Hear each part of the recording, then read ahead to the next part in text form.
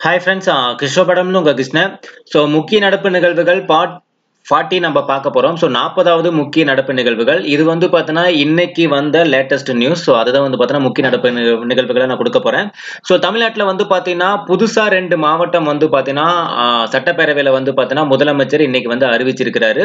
So அதை பற்றின detail தான் நம்ம இன்னைக்கு வீடியோ பற்றின நம்ம நாற்பதாவது முக்கிய நடப்பு நிகழ்வுகள் பற்றி நம்ம பார்க்க போகிறோம் ஓகேங்களா ஸோ இதுக்கு முன்னாடி வந்து பார்த்தோன்னா கள்ளக்குறிச்சி அப்படிங்கிற மாவட்டம் பற்றி நம்ம பார்த்தோம் டீட்டெயிலாக ஸோ புதுசாக ஒரு மாவட்டம் வந்து உருவாகுச்சு அப்படின்ட்டு. ஸோ அது இல்லாமல் வந்து பார்த்தோன்னா ரெண்டு மாவட்டம் புதுசாக இன்னைக்கு சட்டப்பேரவையில் முதலமைச்சர் எடப்பாடி பழனிசாமி அனௌன்ஸ்மெண்ட் கொடுத்துருக்காரு. ஸோ அதை பற்றின டீட்டெயில் நம்ம பார்க்கலாம். சரிங்களா?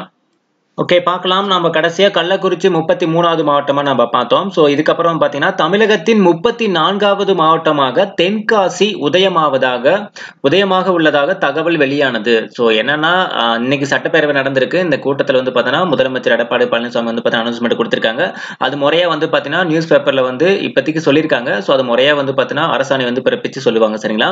ஸோ தனி மாவட்டமாக அறிவிக்க கோரி தென்காசி மக்களின் நீண்டகால கோரிக்கை நிறைவேற்றும் வகையில் நடவடிக்கை உள்ளதாக கூறப்பட்டது. அதே மாதிரி நெல்லையிலிருந்து பிரித்து தென்காசியை தனி மாவட்டமாக அறிவிக்க வாய்ப்பு உள்ளது. ஸோ தென்காசி மாவட்டத்தின் கீழ் யார் என்னென்ன வரும் பார்த்தீங்கன்னா சிவகிரி அம்பாசமுத்திரம் கடையநல்லூர் செங்கோட்டை ஆகிய வட்டாரங்கள் வரும் என தகவல் வெளியானது.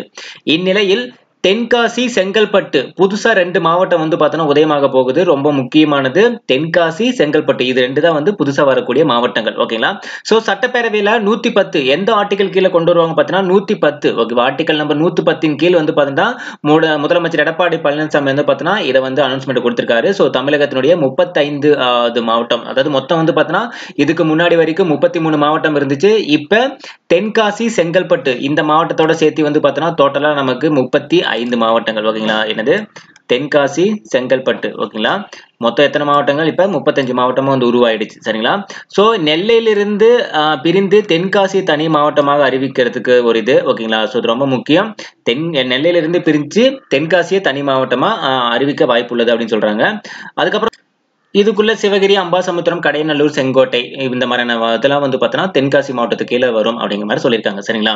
ஸோ இதை பற்றின டீட்டெயில் நம்ம வந்து பார்த்தோன்னா எக்ஸ்ட்ரா அதாவது ஆஹ், நாளைக்கு நியூஸ் பேப்பரில் வரும். எக்ஸ்ட்ரா இன்ஃபர்மேஷன் இருந்துச்சுன்னா நடப்பு நிகழ்வுகள் ஃபார்ட்டி ஒன்னோட சேர்த்து நான் அந்த டீட்டெயில் நான் சொல்கிறேன் ஓகேங்களா எனக்கு ரொம்ப முக்கியமான இன்ஃபர்மேஷன் அப்படிங்கிறதுனால இது வந்து நான் வந்து இன்ஃபார்ம் பண்ணியிருக்கேன். ஸோ மேபி வந்து பார்த்தோன்னா எனக்கு தெரிஞ்சு கமிங் கரண்ட் அஃபேர்ஸில் வந்து பார்த்தோன்னா முப்பத்தி மூணாவது மாவட்டம் முப்பத்தி நாலாவது மாவட்டம் முப்பத்தி அஞ்சாவது மாவட்டம் ஒரு பொறுத்துக்கு மாதிரி கூட கொடுத்து கேட்கறதுக்கான வாய்ப்புகள் அதிகம்.